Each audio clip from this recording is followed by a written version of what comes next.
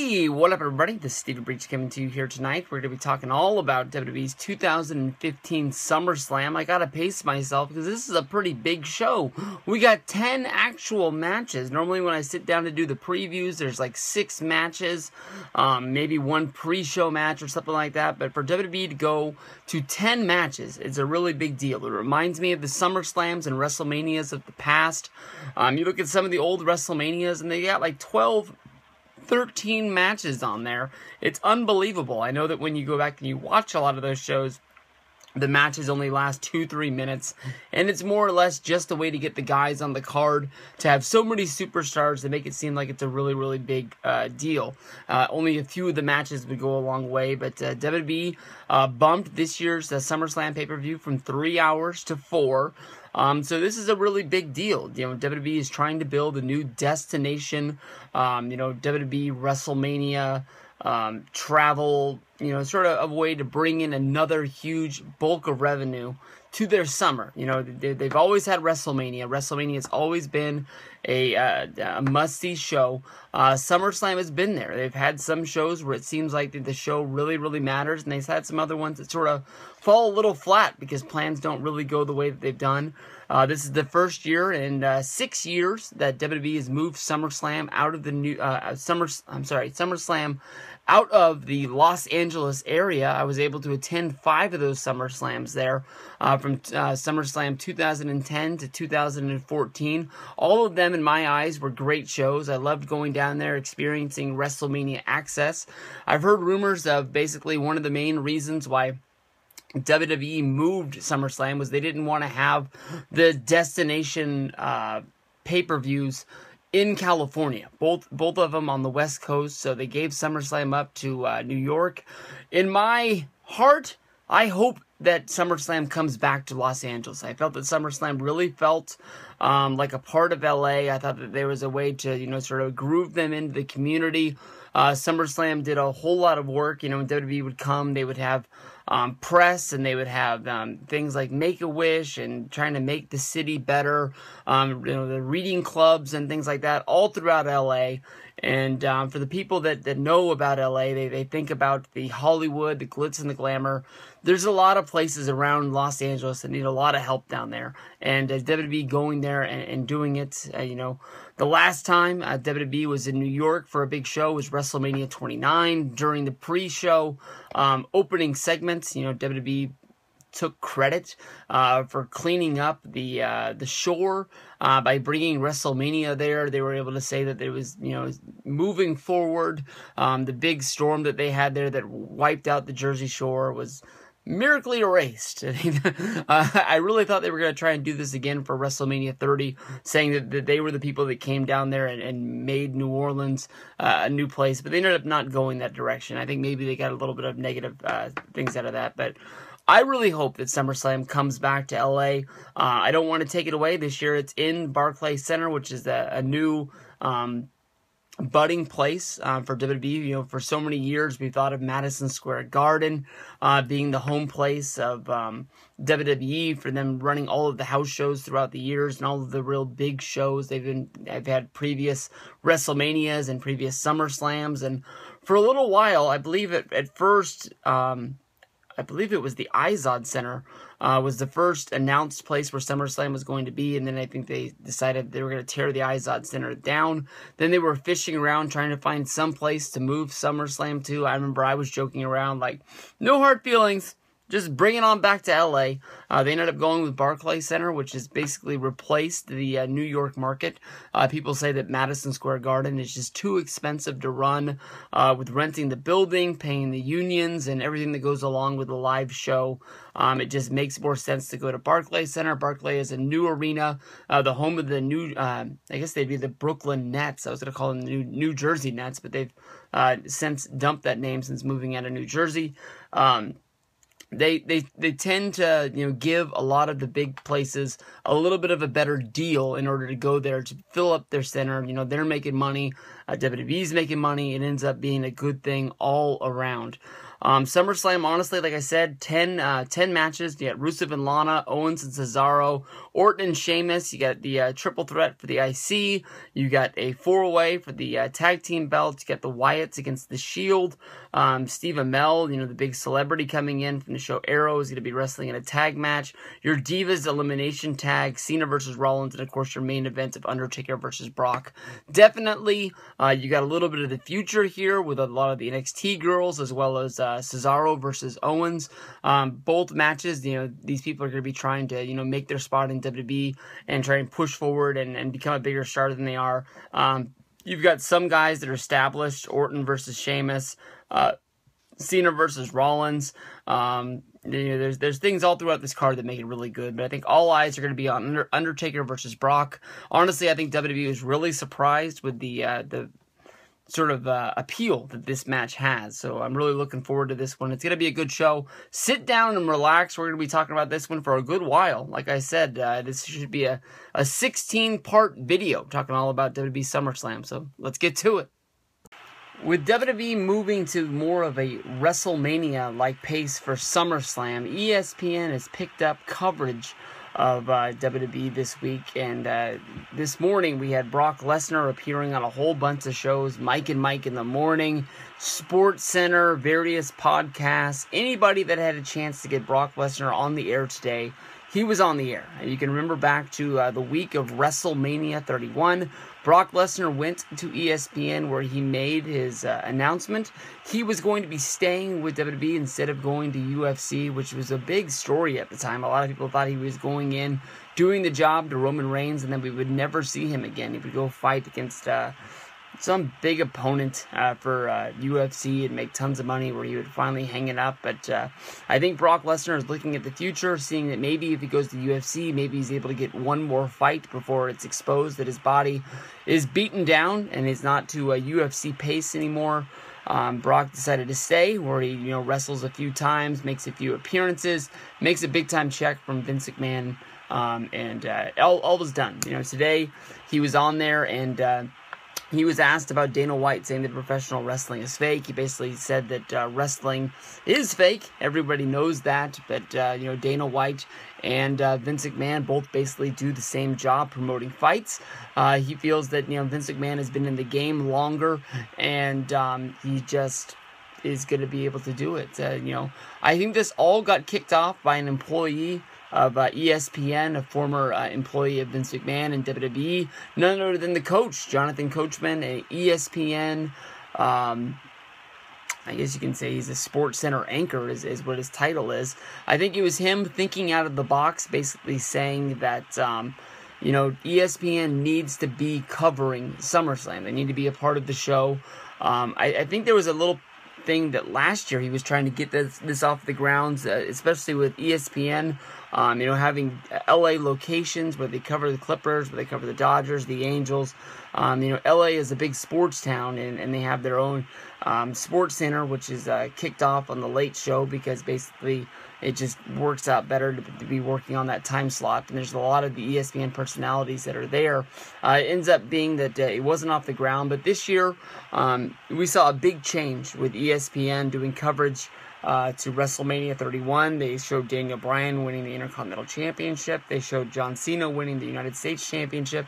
They showed Seth Rollins cashing in and winning the WWE World Heavyweight Championship, where they had to explain what the Money in the Bank briefcase was, which was a, a little bit you know weird, but uh, I think they wanted to get the, the, the point over that somebody beat Brock Lesnar, and this was a big deal. But um, ESPN is going to be doing live coverage from Barclays Center um, with Jonathan Coachman being there Sunday morning from 10 a.m. to 1 p.m. Uh, they're going to be doing um, you know, you know, stories that pop up throughout the day. Um, probably talking to Brock, probably talking to Undertaker, John Cena, The Miz. A lot of the, the, the big time stars at WWE that do a lot of media will probably be getting interviewed, talking about how big of a show this is. And then right before um, the show starts from 6 to 7, they'll be doing another update. I'm sure after the show is over, we're going to be getting a wrap up as well as some, some coverage to get there. Um, it's a little bit funny for ESPN to be jumping on board with WWE. I know that uh, you know SmackDown and Monday Night Raw do bring a lot of ratings, um, but uh, when, when the when the when the deal was up for them to, to sign a television deal. Vince McMahon was talking up about basically, you know, getting big time uh, television rights for Monday Night Raw and for SmackDown. Uh, there was rumors that Fox Sports One, ESPN, USA, Spike TV, um, lots of these big uh, television networks would be bidding uh, to try and bring Raw in, try and get those wrestling ratings that were there. And at the end of the day, um, you know, they got a little bit of a raise, but there was no ESPN money because ESPN didn't bid. I guess it costs less to get the coverage of it. Maybe WWE even gives them the tapes, just saying, hey, if you get a chance, put these on. Maybe they don't have to pay for the uh, the coverage, but. Uh, um, there's talk about maybe ESPN going after UFC when their deal comes up. So um, they're trying to bridge out. They're trying to get a lot of ratings. They're trying to get more people caring about ESPN, who is the number one name in sports. But the thing is, with so many people cutting the cord of cable, um, there's less money out there for them to be making when it all comes down to it. But WWE. Uh, getting covered by ESPN is a big deal, so th- big thanks to Jonathan Coachman, and uh, hopefully they even find a way to get this guy worked into on being on the show. All right, this one worries me a little bit because it doesn't really make a lot of sense. WWE announced that Jon Stewart will be the host of WWE SummerSlam 2015. I know that there's been an ongoing storyline of Jon Stewart versus Seth Rollins that dates back uh, for a little while. Seth Rollins has been on Comedy Central's Daily Show twice, both making uh, surprise appearances, sneaking up behind Jon Stewart as Jon Stewart was trash talking him. This, a lot like with the ESPN coverage, is a big deal for WWE. You know, being a part of pop culture, bring, bring, uh, being brought up uh, on this uh, you know news show uh, that that has a Monday through Friday schedule. A large amount of people watch this. Jon Stewart was the host of this uh, for a long time. I think he did 16 years for the Daily Show. He just recently retired. You would think with the retirement he would be you know, going off and enjoying, um, not really having much responsibility, not really having to do much of anything, but taking a booking to show up at WrestleMania. Oh, I guess it's SummerSlam. I apologize. Is a pretty big deal uh, for WWE. Um, I don't know what a lot of directions that this could go. I, am guessing that more than likely Jon Stewart won't be doing a lot out in front of the crowd. I think that basically he'll be a backstage sort of correspondent, uh, maybe having a run in with Seth Rollins before his big match. Um, but uh, we've seen uh, Jon Stewart kick Seth Rollins in the crotch before on Monday Night Raw, and uh, Seth Rollins never really get a lot of uh, revenge against him. But then again, WWE is kind of weird because when they have celebrities come into um, their WWE universe, normally it's like the celebrity will get over on uh, whoever it is that uh, they're fighting against. If you can remember against uh, Florida Georgia Line, the country singers, they were out doing uh, live uh, commentary and, and, basically started getting into it with the wrestlers. You saw Florida Georgia Line lay out the wrestlers and basically just walk out, and uh, you know, just nothing really ever happened to them. You know, these guys are are great country music singers. They make a lot of pop country that sells a lot of records, gets a lot of plays on radio. But I don't think these guys are really in the gym training to be fighters all that much. It doesn't really make sense that they're just sort of, you know, low blowing a guy and just walking off with no uh, no blows coming their way at the end of at the end of this.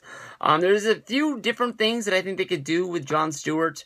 Um, basically, uh, from my time watching the Daily Show, um, he has a little bit of uh, different views, along with a uh, WWE Hall of Famer, that would be Donald Trump. Um, I think that Donald Trump has not been announced for SummerSlam yet, and with him being a presidential candidate for, I believe, the Republican Party, um, I don't pay a lot of attention to politics. I don't really talk about politics on uh, my channel all that much because it's just sort of a it's either a hit or miss thing. You're either going to be on the same side of me or you're going to be on the completely different side and you're just going to want nothing to do with it. But uh, honestly, in my mind, I don't think Donald Trump will be president. I don't think that Donald Trump um, would make a good president if, even if he was miraculously elected. But honestly, from listening to the things that, that Donald Trump said during the last debate, I think that a lot of what Donald Trump has in mind, um, he doesn't really say it the right way, Um, you know, he, like he said, he feels that in my, the United States of America today is, is too politically correct. Um, I, I, think that you have to be a little bit politically correct in this world, and uh, you can't just go on uh, and just basically blast the whole race. I understand that you want to cut off uh, the Mexican border. You don't want illegal immigrants coming into the country, but you know the, the lengths that he went to say this just went a little bit uh, too far in my mind. Um, definitely with with sayings like that, you're gonna get people behind you like yeah, but then when you think about it, at the end of the day, the people that are coming across uh, the Mexican border. Um, the illegal immigrants, they're not really coming in and they're not taking uh, mainstream America jobs. A lot of these people work in like meat packing plants. They work on uh, farms, uh, like picking strawberries or picking other things like that. They're doing jobs in America that a lot of Americans wouldn't do. Um, I have a problem with myself. I think that the, I think this is with every generation. They think the generation after them um, basically doesn't pick up the slack and run the country that they, they think they would run. I see a lot of people coming into the workplace these days that honestly don't give 100%. They're, they're very sluggish. And I'm sure that the people uh, that are that are older than me and saw me coming into the workplace with my generation probably thought the same thing. And it's like the, you know, America is getting dumber and slower uh, as we move along. So there are things that Donald Trump says that I think does you know, uh, I'm tired of losing as a country. Our dollar isn't worth anything. We're billions and billions of dollars in debt. Um, it makes no sense. Somebody has to pick up this country and put it in the right place. Um, you know, for, for so many years, we were looked at as one of the leading countries in the world. And it's not like we're a laughable joke. I mean, but we're, we're, we're in the elite top. But, um, it feels like at the end of time we're getting left behind and uh, basically there's there's classes in America that don't really equal out to anything. There's like basically like you're rich or you're just scraping by and that's just about it. There's no there's no middle ground. These guys are getting richer. These people here are falling down more and more. But uh, i think that honestly um, you know the, the wwe they had to do what they had to do with hulk hogan. You know and he said what he said. Donald trump said what he said donald trump's not really getting blasted the way that he did i mean he didn't really drop any really big negative terms uh, about what he was talking about.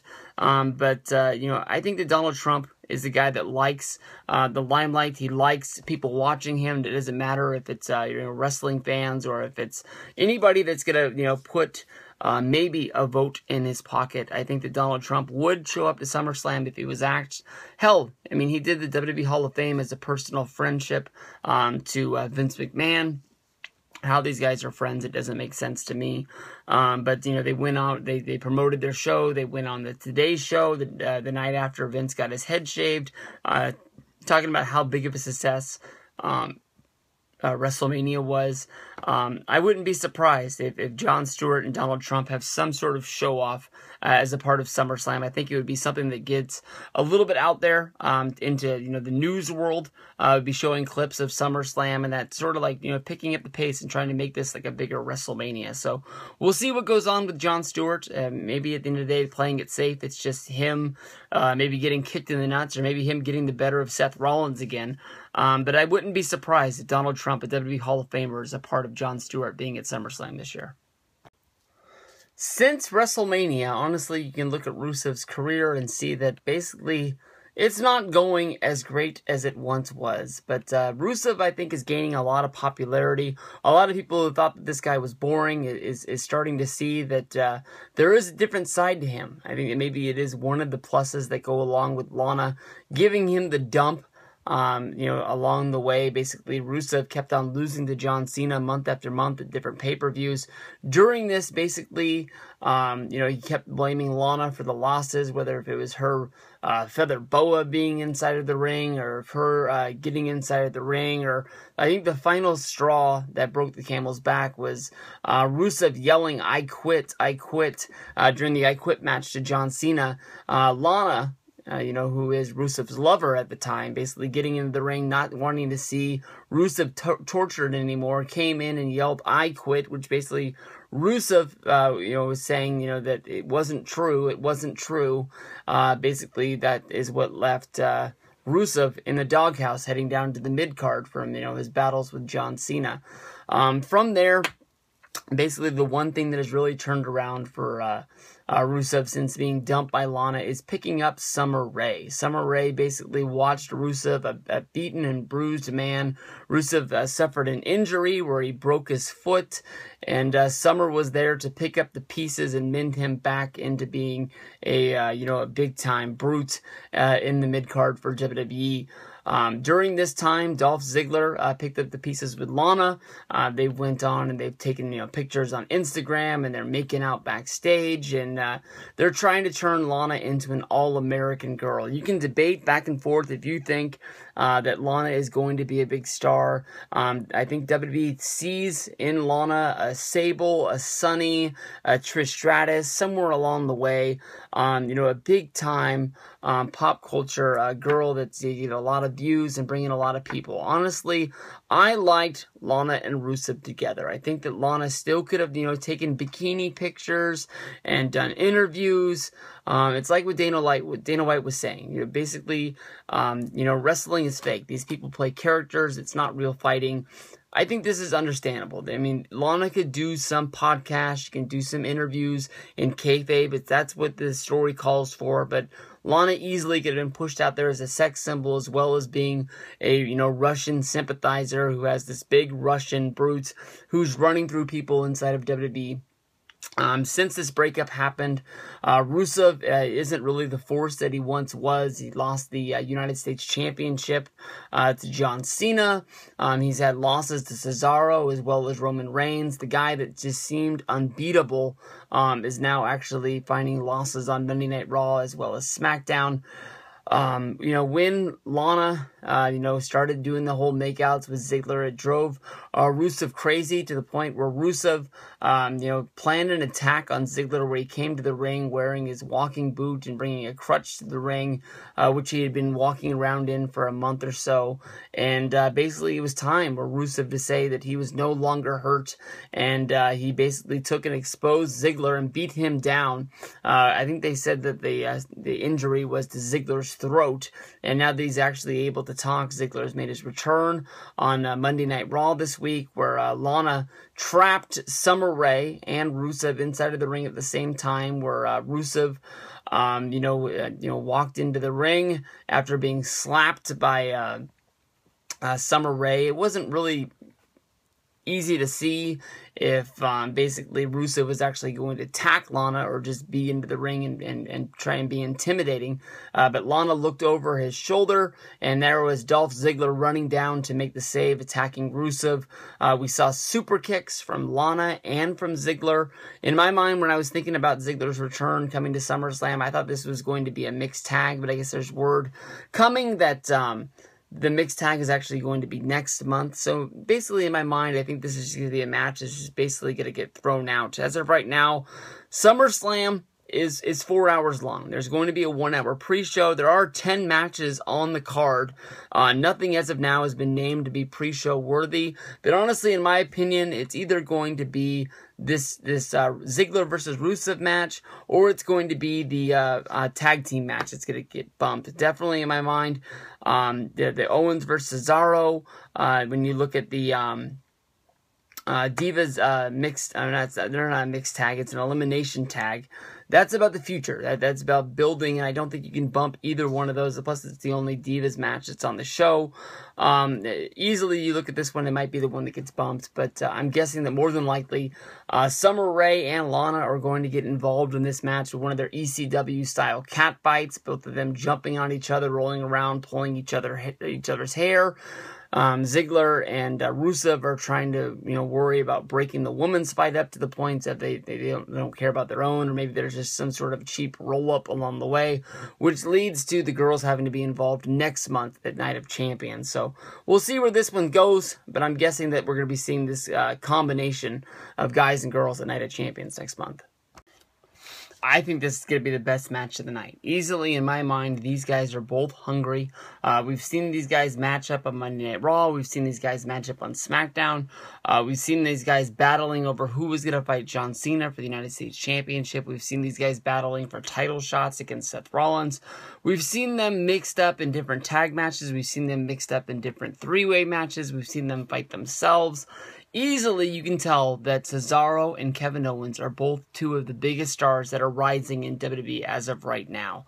Um, Cesaro is one of the guys that got knocked by uh, Vince McMahon during the Stone Cold Steve Austin podcast about guys coming up short when reaching for that brass ring. Easily you can tell that Cesaro is a great wrestler. He's been a great wrestler dating back to his PWG and to his Ring of Honor days. He was easily one of those guys you could tell that was going to get picked to become a WWE guy and uh, we thought that the road to becoming a star in WWE wouldn't take as long as it has. Um, he shot through NXT developmental, FCW, whatever you want to call it at the time, but um, it seems like he's just sort of got stuck. You know, different things that he's he's gone with have have looked like they were going to work really great. He was doing the King of Swing. He was in the uh, All American Tag Team with Jack Swagger that looked like it had um, you know, future tag team champions written all over it. He got into the tag team with him and Tyson Kidd, where he actually did win the tag titles, and you know, either through mishaps or just you know the writers dropping the ball or the injury to Tyson Kidd. You know, he hasn't found his way, but easily you can tell that this last push that Cesaro's been on has been real. Um, Kevin Owens is going to be having a big weekend, SummerSlam weekend, of course, SummerSlam. He's going to be wrestling at the NXT show in Brooklyn. Well, I guess SummerSlam's in Brooklyn too. Uh, but NXT TakeOver Brooklyn. He's wrestling in the main event um, against Finn Balor. He's trying to get his NXT championship back in a ladder match. So, I mean, that's that's pretty big. You know, there's a few wrestlers on this card. Uh, Becky Lynch, Charlotte, Sasha Banks, Kevin Owens, they're all going to be wrestling twice. And for WWE, even if it is for their developmental brand, um, booking a guy on two big shows on back to back nights doesn't get done all that often. You can tell that they really have faith in this guy stealing the show. And I believe this is the match where you can tell that Owens and Cesaro are for real. You know, they've both had coming out appearances in the back. You know, Cesaro is one big matches. Of course, Kevin Owens is going to be remembered as being the guy who beat John Cena in his debut match at the Elimination Chamber. But, um, this is going to be really, really good. You know, basically, we've seen, um, you know, Kevin Owens. He's sort of that guy. He's he's not to that main event level, but you know, his whole gimmick is that basically he is a prize fighter. He fights um, you know, to get wins, to rise his stock in WWE, which gives a better life for him and his family at home. Um, we've seen him walk out on matches with uh, Cesaro, um, basically because he had other opportunities. It's like he is paid to show up big on the pay per views, and that's uh, you know what he saves himself the most for, um, to the point where you know Cesaro is called um, Kevin Owens, you know, basically saying that his Fight Owens Fight shirt should say Walk Owens Walk. Um, definitely, you can tell that this is going to be the budding future of WWE. I think this is going to be the one match you can point your uh, finger to at the end of the night, saying this is probably the best match of the night. When it comes down to it, I, I, I don't know if they're going to be able to say Kevin Owens loses both matches uh, of the weekend. I don't see him beating Finn Balor for the NXT Championship. He's a guy on the main level, um, on the main roster in WWE. Him carrying around the NXT title doesn't make a whole lot of sense to me. Um, so I don't see him winning the Finn Balor match. Um, but then I, I really think that Cesaro is the guy that's going to pull out the victory here at SummerSlam as well. As long as these guys are locked up together, we're going to be getting great guaranteed matches. So one way or another, I think that we're both going to be the winners. But put your money on Cesaro. I think that's where the win's going to be.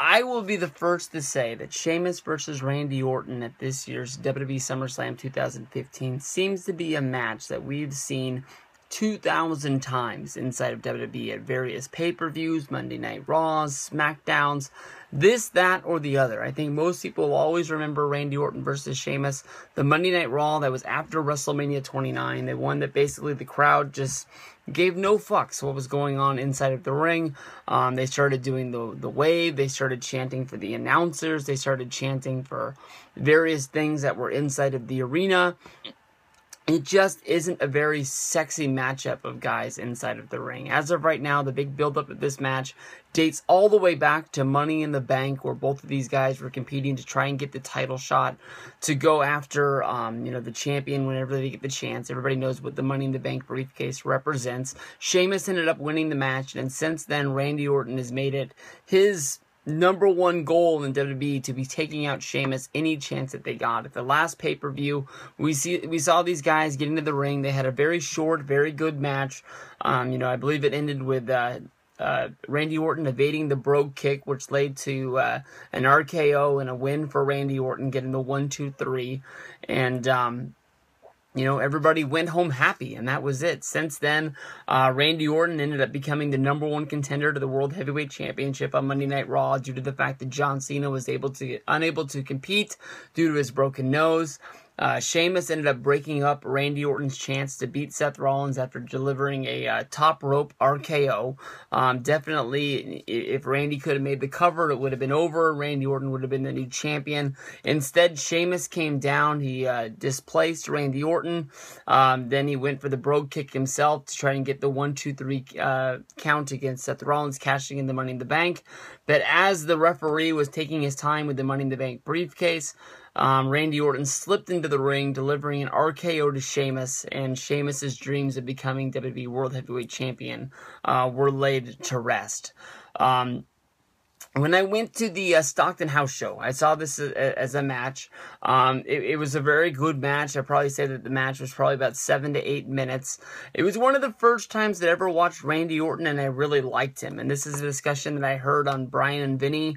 It might have been on Wrestling Observer with uh, Dave and Bryan, but one way or another, I know I know Bryan Alvarez was involved. They were talking about you know going to house shows and actually seeing Randy Orton work definitely people that watch Randy Orton work at house shows will tend to start to like Randy Orton. I think that's what's happening to me. Anybody who's talked to me about Randy Orton, I've just been able to say that this guy has never been one of my favorite guys. He's just been a guy. All of his matches seem the same. But in this last few weeks since going to that house show, I've I've seen that I've been more attentive during Randy Orton matches, even to the point where I'm almost rooting for the guy. Um, he's one of the few guys that is in WWE where I've never bought a T-shirt, I've never done anything to really support this guy, and he's always been one of those guys on the the VIP list where I've just looked at it and said like I have no care in ever meeting Randy Orton, and now I here I am basically on the verge of actually saying that I'm a fan. Uh, in this match, you have to go with the fact that you know Randy won the last match, so I'm guessing that Sheamus is going to get the win this time. But some people are actually thinking that Sheamus is going to be cashing in that Money in the Bank briefcase somewhere along the way, and Sheamus becoming World Heavyweight Champion and having a guy that has two straight victories with him being Randy Orton is pretty good at building a uh, a match uh, in the future. So in this match, I'm going to take Randy Orton to get the win. I know it's hard to get back to back wins on, on pay per view, especially if you're a babyface, especially when you're trying to build the future champion. But so many times you've seen guys hold the Money in the Bank briefcase who just get to the point where they never win, but because they have that briefcase, a lot like if you if you had the United States Championship or if you had the Intercontinental Championship you could lose on SmackDown and Raw all you wanted because basically when you walked out the next time you'd still be holding that belt and that makes you a little bit more prestigious than everybody else that's on the show. But my pick, Orton to get the win over Sheamus. All right, in a returning bout from WWE Battleground 2015, we have the triple threat for the Intercontinental Championship. It's going to be your Intercontinental Champion Ryback going up against former champions The Big Show and The Miz. Um, Ryback to me, honestly, was sort of a surprise guy to win the Intercontinental Championship tournament. And uh, the IC belt has been on a little bit of a ride um, for you know about six months now. I guess you can say Wade Barrett came down with an injury where he had to be stripped of the championship. Daniel Bryan won the title at WrestleMania 31, but due to an injury, he had to be stripped of it as well.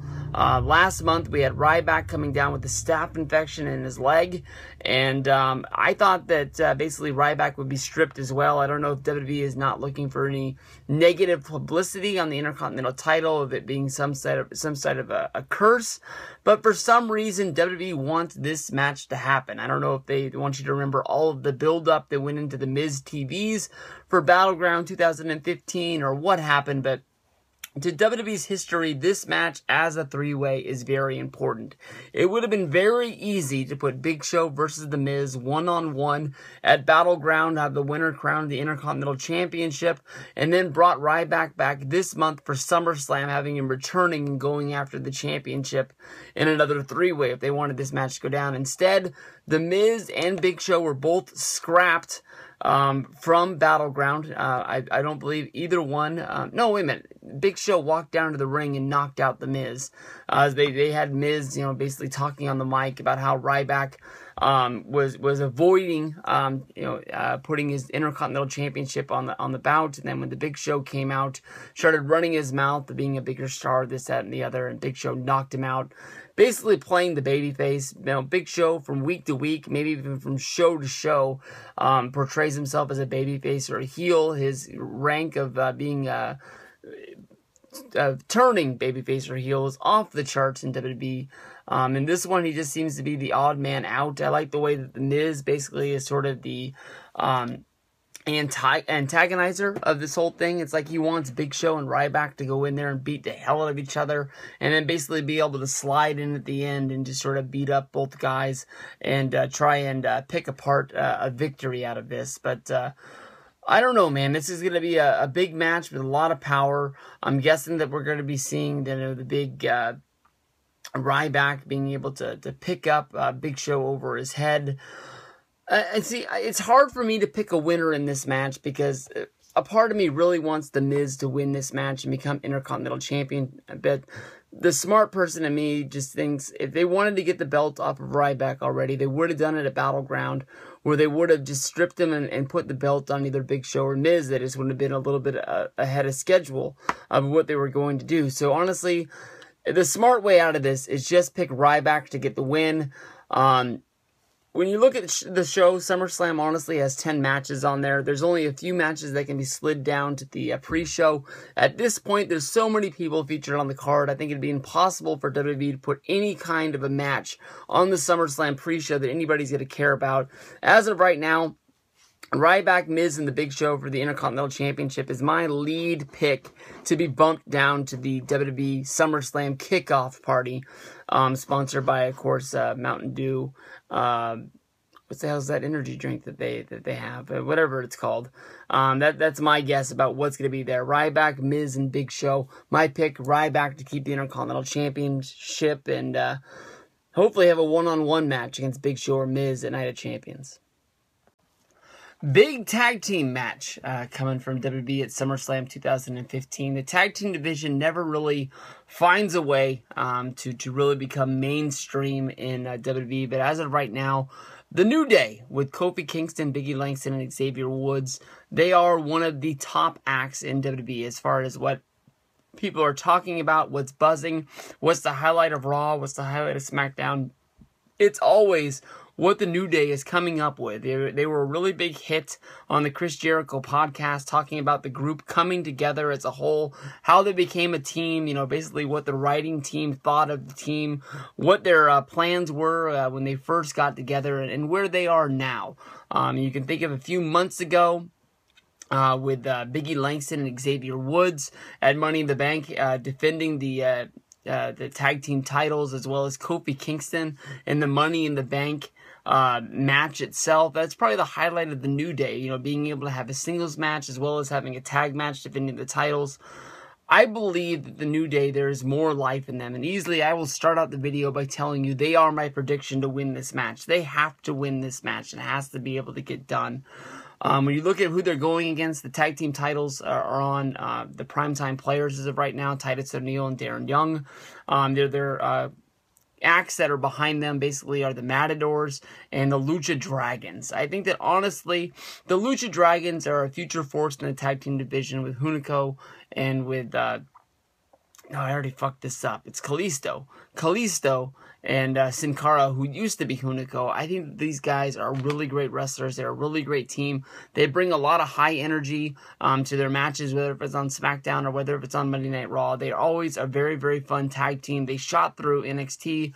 They won the titles. They lost the titles. The next thing you know, they're debuting on Monday Night Raw um, the night after WrestleMania. You know, they didn't get a lot of fanfare about an NXT you know person being called up. But um, you know they're really going to work if they if they stay in the tag team division. Hopefully they don't split these guys up in order to have this dream match of mask versus mask, which has been talked about since WrestleMania 27 of Rey Mysterio against uh, Sin Cara, which finally happened at Triple Mania at the main event of that show. Uh, I could see Vince McMahon, you know, basically having hard on at the uh, at the desk, thinking about what's going to happen at WrestleMania, and saying, "I know we'll split these guys up and put them against each other. We'll break that, you know, Los Angeles Dodger. No, it was it was the Angels." the uh, Los Angeles uh, Angels of Anaheim record of uh, most people wearing a mask in one place at one time. But uh, when you look at the Matadors, they're a great, dependable tag team. They always find a way to have good matches. I will honestly tell you that I don't even know what their names are as the Matadors. When they're in there, I just call them the Matadors. I still call them Epico and Primo. I still can't tell which one's Epico. I can't tell which one's Primo. Um, I think that they had big ideas a few years ago when this team came up of them, you know, bringing up the bull um, and uh, what the bull was going to be able to do. I mean, he has fun at house shows. At that show I went to last month in Stockton, he was bouncing around the ring, and the Matadors got eliminated pretty early during the match because one of them was talking to WWE security guard and forgot to pay attention to the match. Why his guy got rolled up for the pin. But um, you know, from there, um, the Lucha Dragons and the Ascension continue to have a great tag team match They had a lot of fun. But uh, definitely when it comes to SummerSlam here, we want some New Day. We want some New Day. New Day's got to get it done here. Primetime players are great champions. They should have been champions a long time ago. Primetime players, Titus O'Neil and Darren Young were over at SummerSlam. I think it was 2013, and, and then you know somewhere along the way they got hurt, they got split up. Um, they thought Titus O'Neil was going to be a great single star, and he just became one of the dorks that was doing run ins, trying to break up fights on Monday Night Raw. You can really tell your spot on the card if there's going to be a you know uh you know everybody out of the back trying to break up a fight inside of the ring and you're one of the guys that WWE tells you to go out there. I know that like Kevin Owens and Sheamus and Cesaro were the guys that were out there trying to break up the fight between Undertaker and uh, Brock Lesnar on Monday Night Raw a few weeks ago. But uh, you know, Titus was one of those dorks that was involved in like the main event of Monday Night Raw, the entire Raw roster against Randy Orton, something stupid like that. You want to make sure that you're not featured in that match if you're trying to become a star. But they didn't pull the trigger on Titus. They like the way he is. You know, he won the Father of the Year competition and things like that. But it's got to be New Day. New Day's getting the win. They're my pick. Another big tag team match from uh, the the families, I guess you can say, of the WWE is the Wyatt family coming back together. Bray Wyatt and Luke Harper um, going up against uh, Dean Ambrose and Roman Reigns. The Shield versus the Wyatts. You go all the way back to 2013. Um, near the end of that year, these guys had a standoff where it was the Shield and the Wyatts three on three, ending out Monday Night Raw with these guys slugging it out and just battling out to see who the strongest trio of the group was. We'd have to wait all the way until Elimination Chamber 2014, in which a lot of people look at as one of the matches of the year. Uh, Roman Reigns is the guy that didn't get the win at WrestleMania. Um, a lot of people were, were, thinking that you know Roman Reigns was on this sort of uh, uh, you know we're gonna fix him kind of tour where he was gonna build himself back up. I really looked at you know Roman Reigns being paired up with Bray Wyatt as a way to kill off Roman Reigns, kill off any of the momentum that this guy had made after WrestleMania. It seemed like by him losing the match with Seth Rollins cashing in on him and Brock Lesnar it was almost like people gained a lot of respect for him because people thought that he was giving the the main event, of the WWE Championship, um, everything handed to him on a silver platter. That he shot through WWE too fast, he hadn't paid his dues, he was too green, this, that, or the other. I'm a fan. I like this guy. I don't see what he hasn't done. Um, if the guy's going to be over, is if, he, if he's going to be the star of the future, he's going to be the star of the future. Why people are jumping on the bandwagon of this guy so fast, I have no idea. Because when he was a part of the Shield, he was like one of the most popular dudes in WWE that people were talking about and people were buzzing. But all of a sudden, the guy, you know, wins the Royal Rumble. The Rock shows up and helps the dude out in a fight against Rusev. Um, all of a sudden, he's going up against Brock Lesnar in the main event of, of WrestleMania, which seems pretty badass to me. This guy becomes the most hated guy in the world. I, I've got no clue. Um, there's no secret that this match isn't what it was supposed to be. At one time, it was being picked out to be a, I guess you can say, a six-man tag with uh, Sting and another member of the Wyatts. It's been rumored if it was going to be um, I guess it was going to be either Bo Dallas, it was going to be Adam Rose, uh, maybe Eric Rowan would be returning from. I can't remember if it was a neck injury or if it was a shoulder injury, but one way or another. Um, I was looking at Harper and Rowan when they got back together as a tag team before joining the Wyatts. Um, that they were really building something along the way. You know, uh, Roman Reigns was in the Money in the Bank match. Uh, Bray Wyatt, who wasn't even in the match, uh, showed up and spoiled Roman's shot of grabbing the golden briefcase above the ring when, when, Roman was climbing up the ladder with no one left in the ring. The lights went out. The Bray Wyatt intro went off. When the lights came back up, Bray was standing inside of the ring, tipped over um, the the uh, the ladder. Roman ended up not being able to win the match. Ended up going to Sheamus, and which led us to um, the last pay per view, Battleground, uh, where it was Roman Reigns against Bray Wyatt one on one. It looked like you know Roman had killed Bray, and out of nowhere, Luke Harper emerged wearing a sweatshirt throughout the crowd, and uh, from there the Wyatts were reborn. On Monday Night Raw, they ran a uh, promo inside of the ring where I really thought they were going to be bringing somebody back to the Wyatts, or maybe having somebody you know baptized into the group. It ended up being that they just talked for a long time.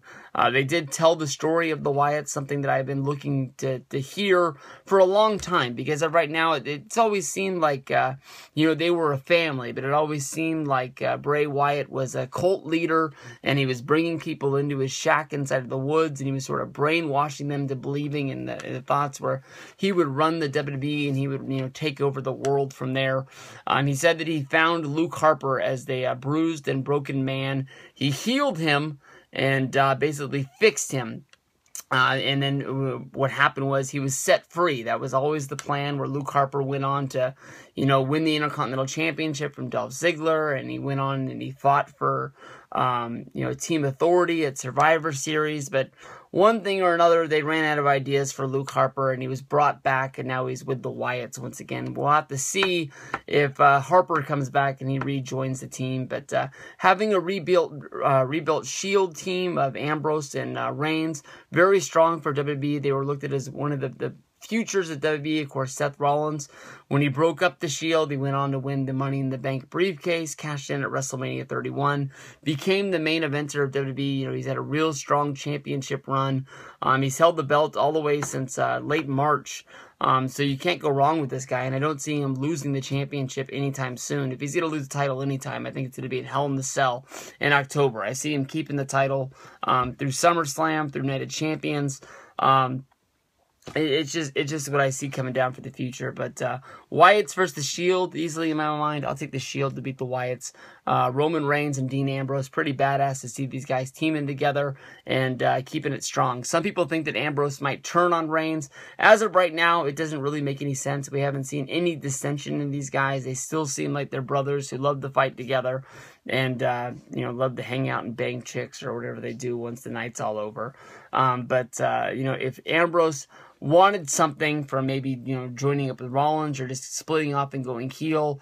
I don't really see him joining the Wyatts. Nothing has really been shown in the cards. It doesn't really make any sense. If they're gonna be doing a split, like when they did the Shield split, they're gonna push it for like at least a month, maybe even two months before actually doing it. Because WWE is always behind on the blocks. They always make you wait way too long to the point where you don't really care. But then again, you know, people wanted the Shield to break up, then all of a sudden they turned babyface. People didn't want the ride to end, and when Rollins, um, you know, hit uh, Reigns in the back and then hit the uh, curb stomp on Ambrose. People were so shocked that it was one of the most memorable moments of the Shield being together. Last month, on the way to Battleground, the rumor started to run about Undertaker making a return as well as Sting making a return to WWE at SummerSlam 2015. It ended up going with Undertaker versus Brock in the main event, and it seems like Sting never got the call from WWE to be a part of uh, SummerSlam. I know that he is going to be a part of um, you know the SummerSlam Spectacular. They are bringing him in for an autograph signing um, SummerSlam week. I think it's taking place the day before SummerSlam. It might be happening on Friday. I'm not 100% sure. I didn't look into it a lot because the main reason I'm not going to SummerSlam this year. But uh, I think that honestly, the SummerSlam people, uh, the, the fans of this New York, New Jersey area and Brooklyn, I think they're getting a little bit ripped off. I, I know that WWE is, is uh, charging a good little penny uh, for what they're calling meet and greets, and they are having a few things that are called panels, which I think are they're going to be shot for uh, WWE's network, and I think those are going to be good programming along the way. Last year they had some uh, panels uh, which featured featured DX, which was filmed and was put onto the network, but they also had uh, they oh they did the they did the panel of um, shoot, what's it called? It was it was the uh, video game release uh, thing that that was uh, live on the network, but uh, they had um, Stone Cold Steve Austin, which I was at. They had Hulk Hogan. Um, they had a few of these panels. They're going to be doing those again this year, which I think will be WWE Network sort of exclusive uh, ways to see it, which I think that's pretty good. But honestly, they're not doing SummerSlam Axxess, which, you know, in LA was very cool, right outside of the Staples Center. They blocked off the street um, in between the mall and uh, the Staples Center, and they set up booths where you could buy merchandise, you could meet wrestlers, um, you could do certain things along the way, which was very fun, you know, especially if you were you could come the day before. Saturday was an all day event of Axxess, but also if you were just coming to SummerSlam itself, um, you know, spend the extra 50 bucks, go into the fan fest, meet some wrestlers, and make it a whole day of it. We are very, very fun. But it turns out that uh, they're not going to be doing a whole um, sort of ordeal for for Axxess. If you look back at WrestleMania 29, I think one of the big disappointments for a lot of fans was WrestleMania Axxess. You know, instead of uh, being put into a convention center where it's had a lot of success running for WrestleManias in the past. They ended up putting it inside of an arena uh, where basically you met the people. They were on the like the press boxes, I guess you can say. I wasn't there, so I'm not 100% sure, but I've watched videos and talked to my friends about it. And you ended up having to be in a line around the concourse um, throughout the, the place. They, they um, roped it off after a certain amount of people. Normally, when you go to a WrestleMania Axxess, if you go to one of the popular ones, you should honestly always be able to meet two people. Um, if not three per session, but uh, people were saying at WrestleMania Axxess that you know, if you got two people, honestly, we're very lucky. And um, sometimes there were people that you really didn't really even care about meeting, and sometimes there were people where their line got blocked off immediately, and there was no chance in the world you were going to be meeting them there. But uh, you know, if you buy these tickets, you're guaranteed to meet him. Sting's already going to be there. Uh, the rumor was for Sting that he was going to be a part of uh, the the sixth man, uh, which would have been the Shield versus the Wyatts. The uh, Sting would have, of course, been the newest uh, Shield member. Somebody would have been added onto the Wyatts, whether if it's Eric Rowan returning. I've heard rumors that he was actually at uh, the Target Center in Minneapolis at Monday Night Raw. Maybe they were going over the match. Maybe they were trying to plan something out. But um, my guess is that more than likely Sting will be a part of SummerSlam when it's all said and done. Dave Meltzer reported on Wrestling Observer Radio a few times uh, that Sting was given the call that he was going to be a part of SummerSlam. At the last minute, he was pulled out.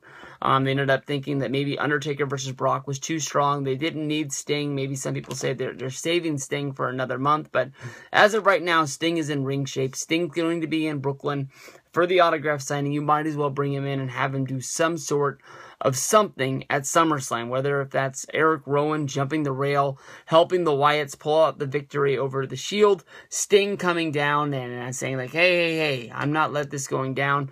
How Sting fits into being a Shield member, how Sting fits into being um, against the Wyatts, why he cares that it's three on two against Ambrose and Reigns.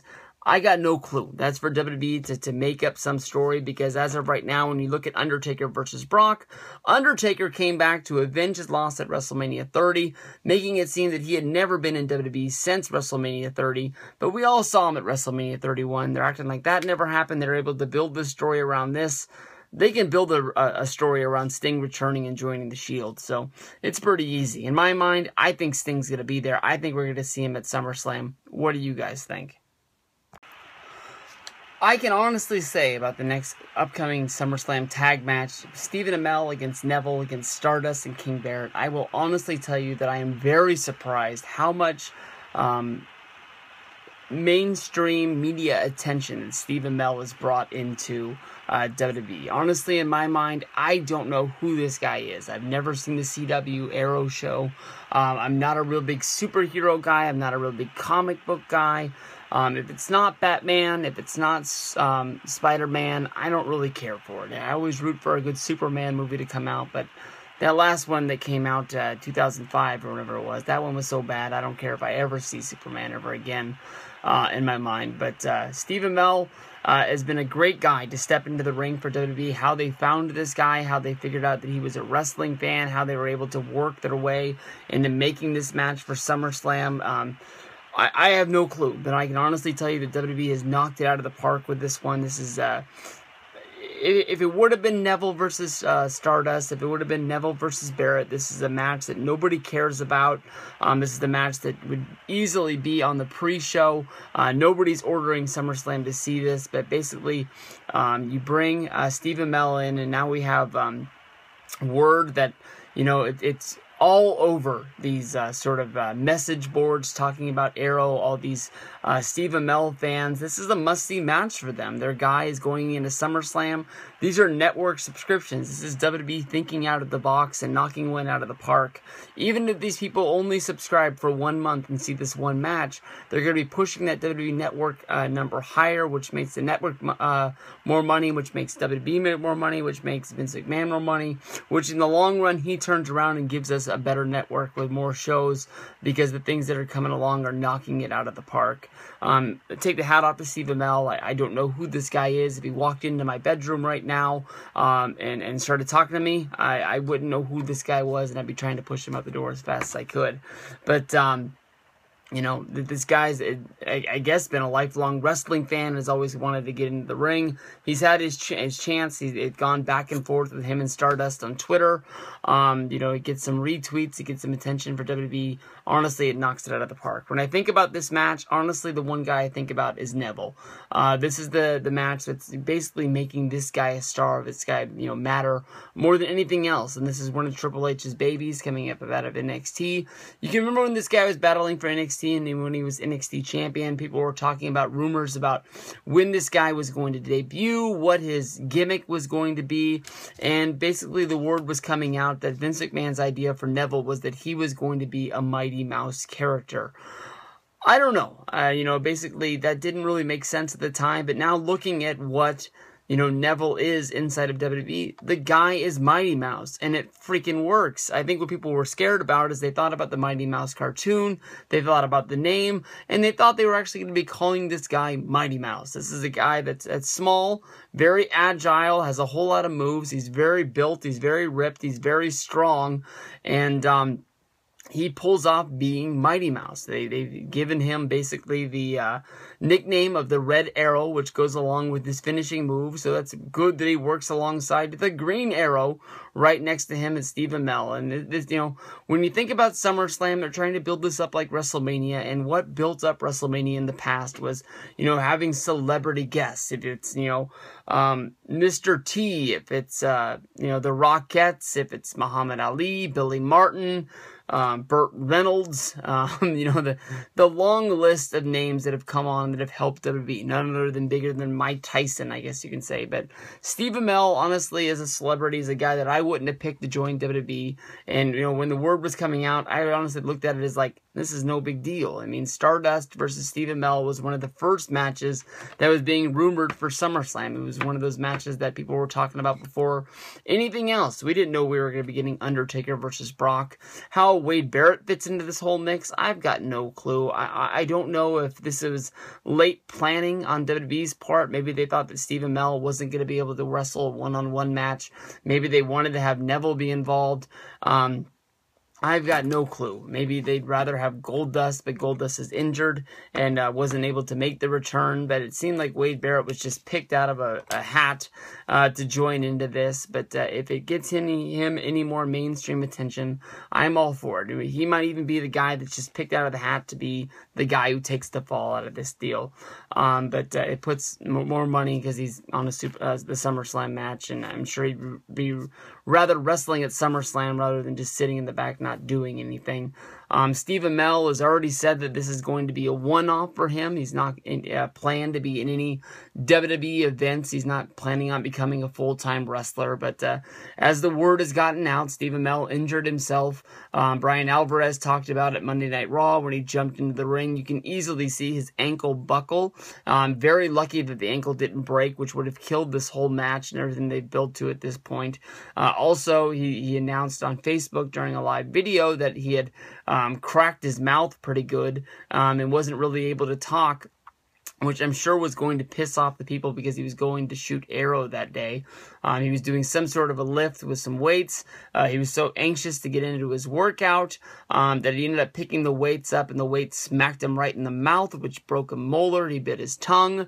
Uh, his tongue swelled up, and so you know he was probably messed up for a couple days there. But uh, it honestly really does surprise me that Steve Amell is into the gym, getting into the you know the great perfect shape that he's going to be in for this match.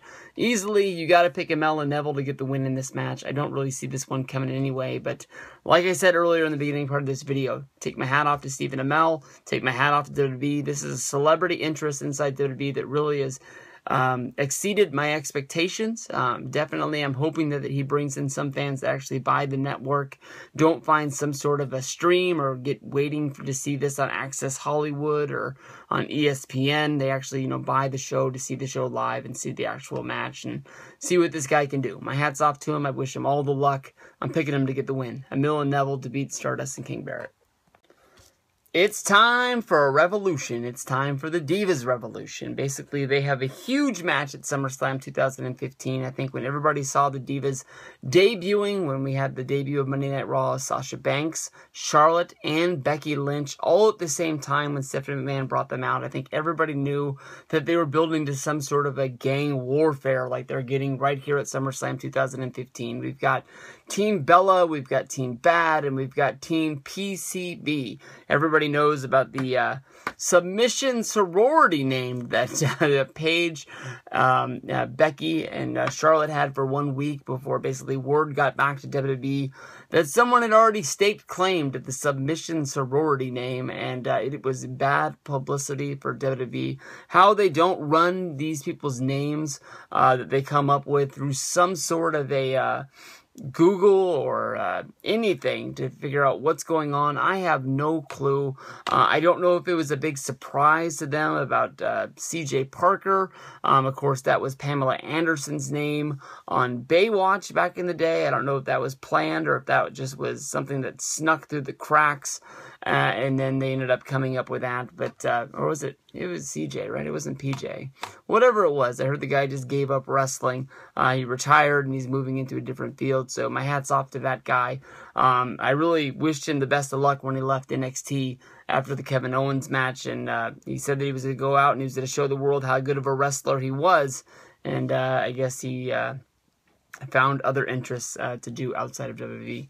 Um, but in this match, um, I, this is going to be a good one. I mean, Nikki Bella is closing in on becoming the longest reigning uh, champion of all time, even though she hasn't really been defending the belt um, in the past few weeks because of this whole Divas Revolution. Uh, we've seen her lose matches to Charlotte. We've seen her lose matches to Sasha Banks. Um, and here we are in another non-championship match as well. Hopefully this is able to crown some sort of a number one contender. Maybe we can find out who the true leaders of these groups are. When I look at, you know, PCB, you know, Paige comes first. She's the veteran she easily looks like you know she's the leader of her team. Uh, when you look at um, Team Bad, sometimes it's Naomi, sometimes it's Sasha. Um, you know, both of these girls, the cream rises to the top, and I think Sasha is going to be the leader over time. Tamina, is easily the, the weakest link of this whole match. But this is going to be a good one. When the, the word came down, this was going to be a elimination tag match. I thought this was a match that uh, was going to be some sort of a joke because when you have nine girls, uh, if it comes down to one sole survivor, when the longest possible match is that we have eight falls. And when you have an eight falls divas match like we've, we've had with Survivor Series matches in the past, it ends up just turning into a, uh, you know, uh, a finisher fest where you know a girl hits her finisher, gets a victory, walks and turns around and gets hit with somebody else's finisher, and it's just pin after pin after pin, and it is sort of fun to see that many finishers in a row, but uh, when it's inside of a match and the girl's fresh and she gets it with one move, it just sort of takes you out of what is going on. I think that honestly, when it comes down to this, you know, I've seen. Um, you know, PCB, they've been getting a lot of wins on Raw and SmackDown. I've been seeing, you know, Team Bad, they got the, the victory over Nikki. Um, you know, the, the Bellas right now, I know that they're the champions. I know that Nikki gets to walk out with the belt week after week, but it seems like they're just getting kicked around in the dirt.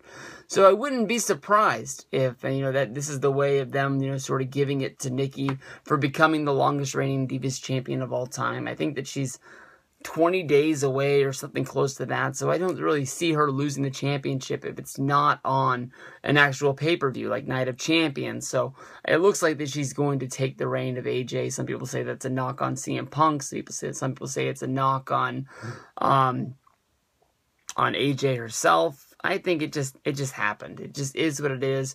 You can tell when they brought these girls up, maybe it wasn't exactly what they had in mind. I think that maybe most people thought organically Sasha, Charlotte, and Becky um, were going to be brought up one by one, but bringing them up all at one time really did change the face of the Divas division. I know there's been word Sasha Banks in an interview where she's basically was told by uh, the agents in the back producers, whatever you want to call them, that uh, she needs to start wrestling like a diva instead of wrestling like a, uh, a, wrestler, I guess you can say. I hope they don't change these girls because honestly, maybe you have to uh, change your style if you get into the ring with a uh, um, one of the girls who don't really work all that well, Alana or a Summer Rae.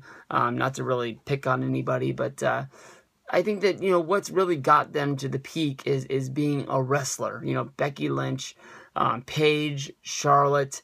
These girls know how to work. They they know how to great have great matches. And um, you know Naomi's one hell of an athlete. The Bellas have, have been really improved. Alicia Fox has been a staple of the roster for a long time.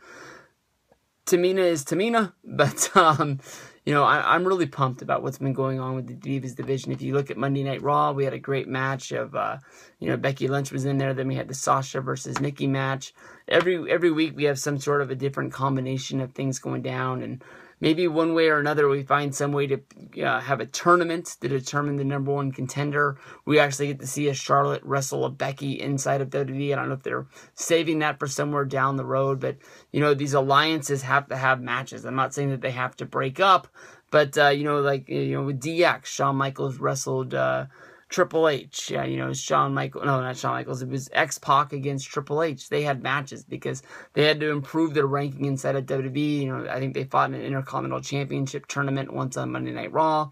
It's just what you have to do sometimes to find out, you know, what they're doing. At the end of the day, you're friends, but you got a job, and that job is trying to become champion. So maybe we can do some sort of thing to switch this up. I want to pick PCB in this match, Paige, uh, Charlotte, and Becky Lynch, because of the fact that they've been they've been going so strong as of late. But honestly, I think I talked myself into picking the Bellas for the fact that they really haven't won a lot of matches um, as of late. So maybe they'll get the win at SummerSlam to pick this team up out of the dirt.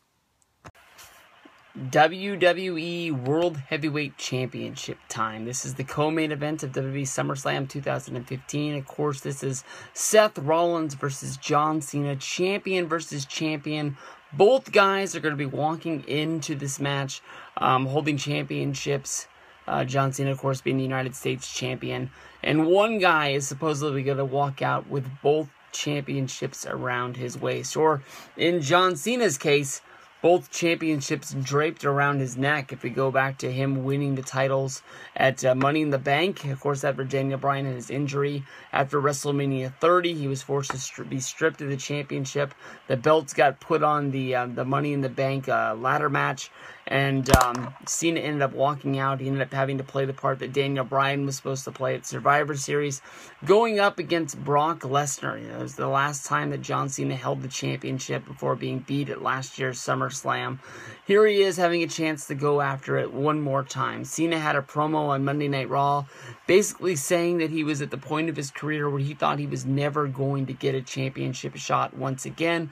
But when the opportunity came a knocking with Seth Rollins challenging him, he jumped all over it. Honestly, in my mind, John Cena feels like he's been involved in WWE for a long time. This guy is very rarely injured.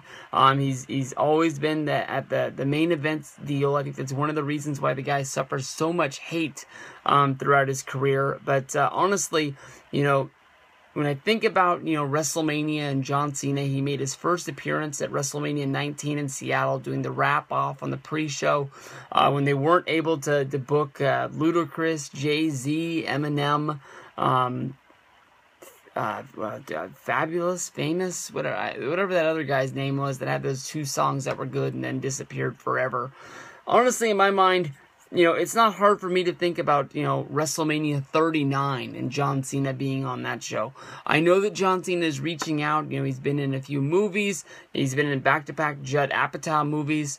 And, um, people are saying that he's getting a lot of buzz in Hollywood as of right now. But I think that John Cena knows that wrestling is what butters his bread. And I don't think he wants to be The Rock. You know, he would be very hypocritical if that's what he ended up doing. If you go back to the build for WrestleMania 28, um, John Cena was really calling out The Rock for basically packing up his bags and leaving and not being a part of uh, WWE. You know, he came back to be the host of WrestleMania 27. It was challenged for him to be at WrestleMania 28, but you know, he made an appearance on Monday Night Raw. He wrestled at Survivor Series. There were long, huge gaps when The Rock was not around. And I don't think John Cena wants to be that guy. He accepted the role that Vince McMahon gave him of basically moving back a little bit on the card, becoming United States champion. But here they are in a rut trying to make SummerSlam be a big show. They pulled John Cena's number. He's in the main event. Honestly, in my mind, we didn't really get the build that I don't think the writers wrote down on paper for Rollins versus Cena. Maybe it ended up being better. Maybe it ended up not being as strong as it once was. But honestly, if it wasn't for that United States Championship challenge match where Seth Rollins reached out with his knee and broke John Cena's nose, I don't think we would be going into SummerSlam with the, as much buzz as we are. Cena ended up having to take a few weeks off. Uh, he made his return on Tough Enough instead of being on, on Monday Night Raw, which in my mind hurt it just a little bit where he accepted uh, Seth Rollins' challenge to go champion versus champion, belt versus belt. Um, and, uh, you know, it is what it is. Daniel Bryan had to talk John Cena in, into taking the match. But when it comes down to it, John Cena and Seth Rollins are both great wrestlers. They're both going to deliver us a great main event. Um, I don't know, man. I don't think Cena's anywhere near slowing down. I don't think that he's going to be leaving uh, WWE anytime soon. But at the same time, I don't really see a belt changing place. I don't see Rollins beating Cena. I don't be I don't see Cena beating Rollins. I don't know if it's some sort of outside interference, whether if it's um, Sheamus, whether if it's The Rock, whether if it's Sting, whether if it's Triple H, Stephanie, Batista, Kane. Uh, there's so many names that you could throw out here about, you know, what's going down. Basically, word was out on the street that Kane was due to return on Monday Night Raw.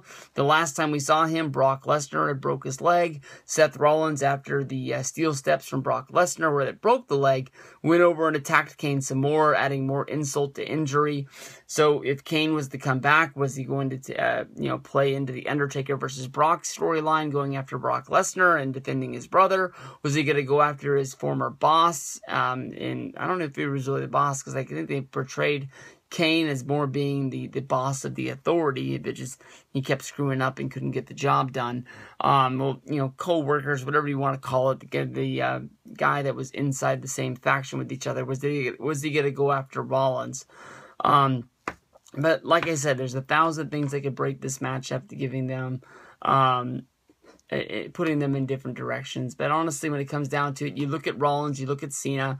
I think what they do with SummerSlam matches so long is that basically they start feuds here and they go with the WWE plan of we're going to make this last three months. Night of Champions, we have another nine finish. And then what do you know? What comes up in October? Hell in the Cell. You need to have a main event. John Cena versus Seth Rollins. WWE Championship on the line. Hell in the Cell that draws attention. That's a big match. Uh, that's something that people are really going to care about. So uh, I think that, that, basically we're not getting a finish. I think I don't think the Rollins is going to win. I don't think the Cena is going to win. I think the United States Open Challenge on Monday Night Raw and SmackDown is going to continue. And um, you know I don't think we're going to be see a, a winner in this feud for months to come like I said about the Cena versus Rollins match, is that basically I don't think there's going to be a winner. I think there's going to be some sort of outside interference, something that breaks up this match, something that takes it out of its element and makes it something different. That way, we're Cena's going to keep his United States Championship, Rollins is going to keep his World Heavyweight Championship, and the feud is going to continue into something else. One of the rumors that's being thrown around is that a lot of people think that Sheamus is going to be coming in and breaking up this match in order to cash in and become the Money in the Bank, you know, Mr. Money in the Bank champion, where he cashes in his, his briefcase, you know, beats Seth Rollins, ends up becoming champion. Hell, like we saw at uh, WrestleMania 31, he could uh, break into this match, making it a three way, and he could even beat Cena to become the champion, and Rollins wouldn't even have to lose uh, because he changed the rules and made it a three way, something that I don't even know if that was really legal. Honestly, in my mind, it reminds me a lot of what uh, Hernandez did in, in uh, TNA when he was the Feast or Fire champion and uh, decided to add himself into a five way match for the championship, making it a six way, only to get beat up by Eric Young and lose his Feast or Fire thing. I always thought that Hernandez was going to become like champion and was going to become more than he was, but uh, I think that was the writing on the wall that uh, TNA wasn't going to be pushing uh, Hernandez to the moon, um, you know, putting him into a feud, losing the Feast or Fire deal, and, and going into a feud with Eric Young. But uh, Sheamus is a guy that's been champion in the past. He's, of course, he's beat John Cena at TLC um, when Cena slipped off a banana peel on the top rope, crashing through a table and uh, making himself the champion. And then, of course, during the Nexus run, um, basically during a cage match, Nexus came down, helped Sheamus win. Um, his match, and uh, since then he became World Heavyweight Champion, of course, at WrestleMania 28. He uh, beat Daniel Bryan in a matter of seconds, and he's probably held that belt somewhere along the line where he lost it and he picked it up again. So Sheamus has uh, has been a guy where um, he has. Um, you know, he, has been at the top. He's even though he's a champion, he's, he would have been a lesser of a guy. But um, it is what it is. I don't really see Sheamus is cashing in. I think honestly he's one of the guys that was hurt the most by uh, WWE getting rid of the World Heavyweight Championship, merging it together, uh, having both titles become one. Because you, you used to be able to have the you know the WWE Championship, which everybody knew was number one. The guy that was holding that belt was the top dog in the um, in the company, and then the one um, that that World Heavyweight Championship was sort of the guy that they were sort of keeping on top. He, he was the easy number two. He was the leader of SmackDown, and uh, it is what it is. I think that Sheamus is a great guy. There's been rumors of the past that you know Vince McMahon thinking that Sheamus was going to be the John Cena of the company, the guy that was gonna you know Cena was gonna pass the torch to and become the number one babyface, and everybody was gonna come to the matches to see Sheamus. And I just don't see him as that guy. I don't really see him as a good babyface. I don't really see the guy as a good heel. Um, he's a great wrestler. He has great matches. He's one of those guys that's going to go out there and hit the other guy as hard as he can. Um, I'm ho- when Sheamus won the Money in the Bank briefcase at the Money in the Bank pay per view, I was ne- negative on, on, it at that point. I didn't think that he was going to be a good guy um, that that could take care of the opportunity to be cash in and become champion. So I don't really see him as the guy that's going to be cashing in at SummerSlam. I think that this feud between Cena and Rollins is going to go on for a while, and him, you know, coming down to the ring to cash in is only going to re- uh, result in him losing.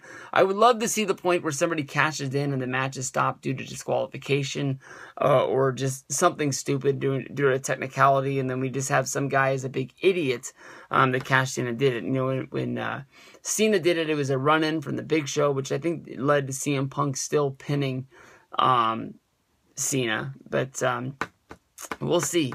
And some people think that Sheamus is really going to do it. What do you guys think? I don't think he's becoming champion at SummerSlam. When you look at how big SummerSlam has grown, basically, you know, over a year, uh, from what it was at the Staples Center to what it is at the Barclays Center this year, the one thing in WWE that puts it over the top is The Rock. I mean, this guy is the most famous guy in the world as of right now. He's making the best action movies in the world. Every once in a while, he graces with his appearance, whether if it's at WrestleMania or a random house show like what he did in Boston or a Monday Night Raw like he did in Barclay uh, about, about a about a year ago or so. I can't remember when you know, the Rusev thing happened, but uh, there was talk about basically maybe thinking of getting Rusev against The Rock at WrestleMania 31. how, how dumb were we? but um, you know, one thing or another. Um, I think The Rock is going to be a part of SummerSlam 2015.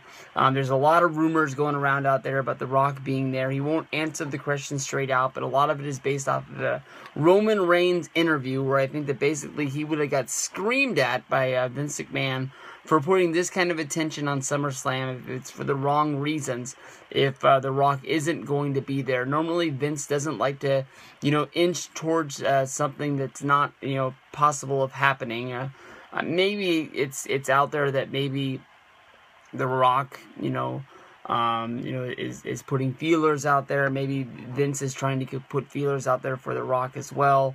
But um, if you think about, you know, the Royal Rumble in Philadelphia, which is a, a rowdy crowd like uh, like Brooklyn is. Um, you know, it didn't really go that well for The Rock. So I, I, honestly was really surprised that he would show up at WrestleMania 31. I know that the boos were more for Roman than it was for The Rock. And at WrestleMania 31, of course, he was going to be out there with Triple H and Stephanie and Ronda Rousey. So, you know, it's easy babyface material there for you. But you could tell that The Rock was pretty upset. Uh, and he basically took the rest of the night off when he did the uh, WWE Network um, exclusive backstage segment uh, with uh, Roman Reigns talking about winning the thing. You could definitely tell that he was in joke mode. He really wasn't caring about what was going on. He was making jokes with the cameraman. He was making jokes with the fans that somehow walked onto the set where they were shooting this backstage deal. Um, but any uh, basically even Roman Reigns, they, nobody cared about what was going on. They knew they knew that the night was a joke. Um, you know, Roman won. He was booed out of the building, and um, they got where they wanted to with Roman becoming the number one contender at WrestleMania 31. Um, but uh, it, it didn't really get over um, what they were trying to push down their throats. But uh, I know that a lot of people are thinking that The Rock is going to be a part of WrestleMania 32. Um, you know, when they had the uh, The Rock do the Monday Night Raw thing with Rusev and he showed up, they thought they, they showed, or they, they shot a backstage segment between him and Triple H with them sort of challenging each other without challenging each other, talking about, you know, the next time that, that they fought if it was going to happen, was going to be in, in front of a big, huge stadium that was going to have 100,000 people in it. Wink, wink. Talking about Dallas Stadium. We're talking about AT&T Stadium, the home of the Dallas Cowboys, WrestleMania 32. Um, I, I think that honestly, you can look at them putting the building blocks of this together. WrestleMania 31 was them putting the first block down, um, with Rock showing up, Ronda Rousey being in the front row, um, uh, basically Ronda attacking Stephanie um, after uh, Stephanie had slapped The Rock in the face. Triple H just standing there like a goof, not knowing what to do. Here we are putting you know the second douse of fire onto this match. Out of the middle of nowhere, um, Seth Rollins is champion. You know he's back in the good graces of the authority. You know, Triple H and Stephanie, um, they've never really dumped Seth Rollins publicly, but uh, they haven't really been together on television in a while. I don't know if that's because Seth Rollins has been able to stand on his own, and uh, you know he's able to get hated. They, they don't need Stephanie and Triple H there to rub it in a little bit more. Um, but uh, basically, over the last few weeks, Triple H and Stephanie have been coming out uh, with Rollins. You know, on Monday Night Raw this week, they came out there and they basically portrayed him as one of the greatest champions of all time. Uh, they told Rollins that if he won his match against John Cena at WWE Survivor Series and became the double champion holding both belts, they would, you know, uh, get a WWE golden statue um, for the uh, WWE headquarters in Stamford of, of Seth Rollins, basically like they have the Ultimate Warrior, like they have of uh, Bruno Sammartino, like they have of Andre the Giant. Um, you know, they would they would build one of these deals, but uh, I think that honestly, what the plan is as of right now is for uh, Stephanie and for Triple H to get involved in the Cena versus Rollins match. At that point, The Rock would emerge. He is coming out to break up uh, what Triple H's plan is. Uh, from there, maybe the match gets thrown out. Everybody's going so crazy they don't even realize they didn't get a finish to this match. Um, you know, basically Triple H is going to be furious that he wasn't able to pull one off and Rollins to get the victory, even though at the end of the day, Rollins would keep the WWE World Heavyweight Championship, which should have been his plan in the long run, but he wouldn't get the win of the factor.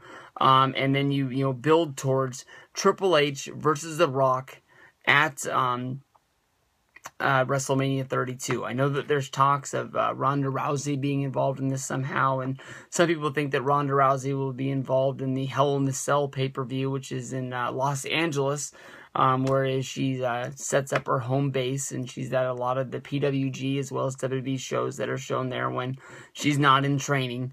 Um, and that will be the next brick that adds towards uh, WrestleMania 32. But uh, I think The Rock's going to be there. I think The Rock's going to be involved in this World Heavyweight Championship Cena versus Rollins match. What do you guys think? It's right up around the corner. Let's get this done.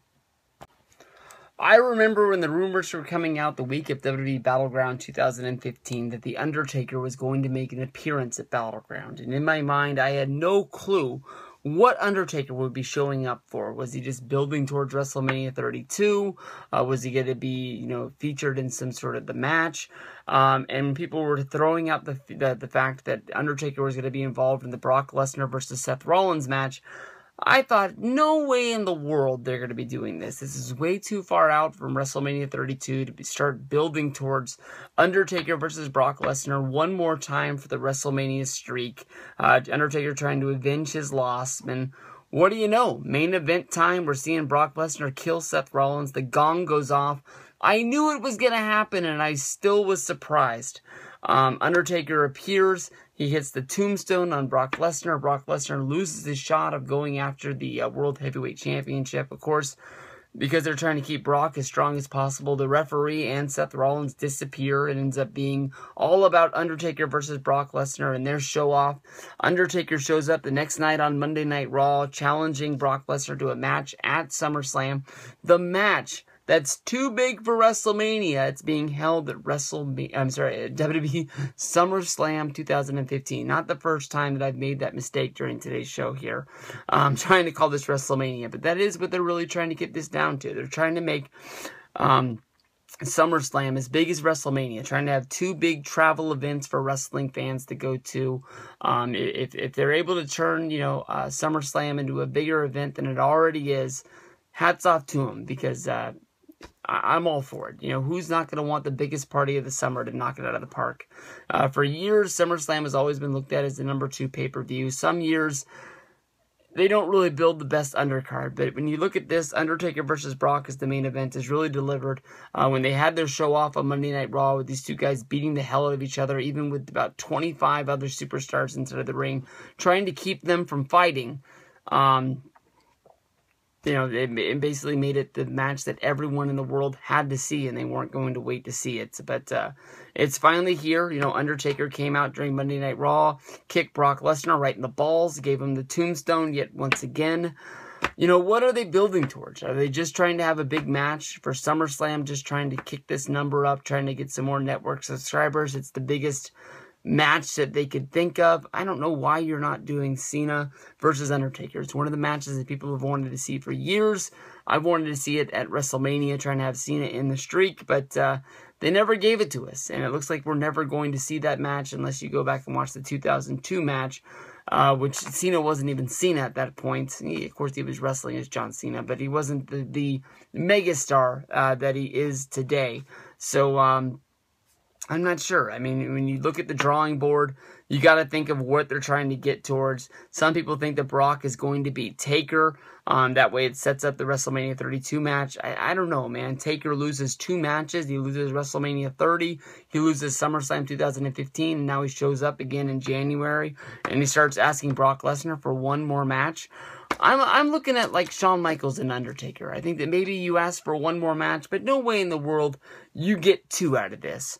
Um, you have to have some sort of a finish. You have Bray Wyatt emerge from hell um, coming in, and he costs the Undertaker the match.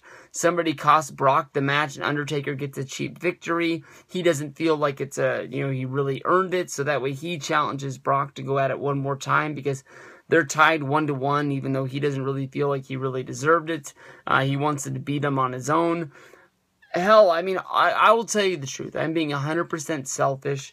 I want the uh, the WWE Hall of Fame to mean something. I can't really think of a lot of guys that could go in as the main eventer. I think it's too early for The Rock. He's still basically a part of the main roster. We're still thinking of him as wrestling at WrestleManias.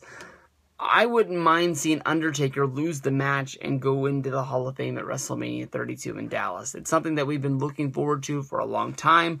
A lot of people thought that WrestleMania 32 was going to be Undertaker's uh, retirement match, anyways. It doesn't really make sense for Undertaker to go into the Hall of Fame in Minneapolis or Orlando, wherever you know uh, WrestleMania 33 is going to take place, because we're still rumored uh, about where it's going to take place. And, and, I guess when they name 33, they're going to name 34 as well. That's the way they did 31 and 32 when they named Santa Clara and Dallas. But uh, I've heard Boston, I've heard Detroit, I've heard various other ones. But uh, how can Detroit be able to, you know, bring in a Super Bowl, bring in WrestleMania, and not be able to fix that city up. It doesn't really make any sense why they're trying to bring in all these people. If they're bringing all this revenue into the city, why are they not pouring it back into the city? And people have seen the pictures of what Detroit is. Um, it's still a big city in the United States, but uh, this is the uh, town that got torn apart um, by basically losing Ford, by losing all of the uh, the car plants that were there. Um, sad, sad story. Why did we even start talking about that? We're talking about Undertaker versus Brock, baby. Um, I don't know. I, I don't see any way in the world Taker wins this match. My money's on Brock. I think it's a lock. Um, Undertaker's got the the ups on Brock at uh, Battleground. He got the ups on the go home show to Monday Night Raw. I guess neither one got the victory when they were fighting inside of the ring. You know, Brock yelled at Taker, "I'm going to kill you." Taker yelled, "I'm going to have, uh, uh, you're going to have to." It seems like you know Undertaker is just a mortal man, just like me and you. Um, you know, it was funny when I was watching. Uh, I think it was the list the other day, and they were talking about Undertaker. You know, coming out and, and wrestling as the biker Undertaker, big bad evil, whatever you want to call him. I always called him Biker Taker at that time and you know it, it, sort of exposed you know what you thought about undertaker. You know is this a real guy? Does he have a house? Does he go grocery shopping? Uh, what does this guy do in his real life? Um, I think that's the way he is right now. When I look at him, I see Dirty Harry. I see an older Clint Eastwood. I see that guy from uh, Gran Torino holding down the block, not letting, you know, a big bad Brock Lesnar run his yard. Um, you know, Undertaker's been that guy who's always deserved respect, and uh, he might have to beat beat it into Brock. But I don't see Brock Lesnar winning this match against Taker. I don't think there's a way in the world that it's going to happen. So that's my views. That's my uh, spec uh, speculation on everything that's the uh, SummerSlam 2015. Let me know what you guys think. Who's winning this main event? Who's winning the other matches? Get back to me at Stevie Breech on Twitter. Peace out, everybody.